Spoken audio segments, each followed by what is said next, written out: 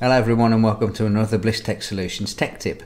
And in today's tech tip we're going to show you how you can use Microsoft Word to um, do a transcript of a video or an audio file.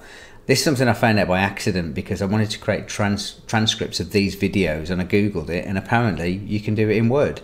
You don't need any other special software.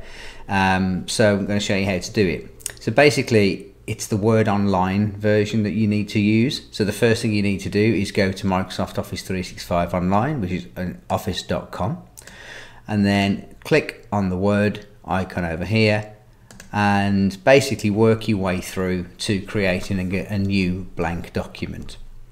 Then, when you're in that document, up here on the uh, the top, you've got a, an area where it says Dictate. If you click the arrow to drop down there, you've got an option to transcribe click on that and then you get the option to load a file. So you can um, transcribe from MP4 videos uh, and MP3 files and M4A files. So you can do video or audio, and you get 300 uh, transactions or transcriptions uh, per month that you can do.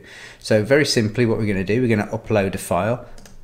This is going to take a few moments, so I'll speed up the video.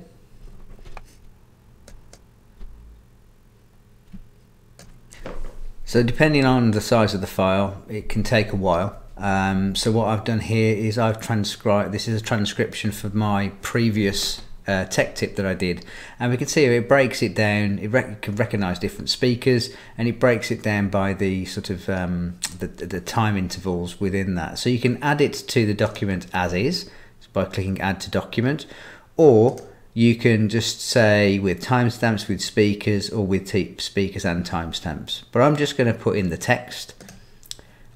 That's going to add it to our document. And now what I can do, I mean, it won't be perfect if you've got an accent like I have, if you talk quickly like I do, it won't pick necessarily pick up of the words perfectly, but you can go through this now and edit it and make it readable. And you've got a transcription that you can use very easy to create. So I hope you found that useful and I'll see you again next time.